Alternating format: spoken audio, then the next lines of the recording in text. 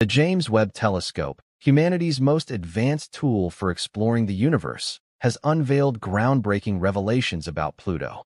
Once dismissed as a cold, desolate rock at the edge of our solar system, Pluto is now proving to be a far more complex and dynamic world.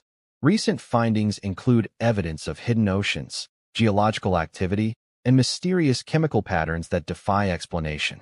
These discoveries have left scientists both awestruck and deeply puzzled. At the heart of these revelations lies Sputnik Planitia, a vast heart-shaped region of nitrogen ice. Beneath its frozen surface may lie an immense liquid ocean shielded by a thick layer of ice. This ocean, kept warm by internal heat, could be one of the most significant discoveries in the search for extraterrestrial life.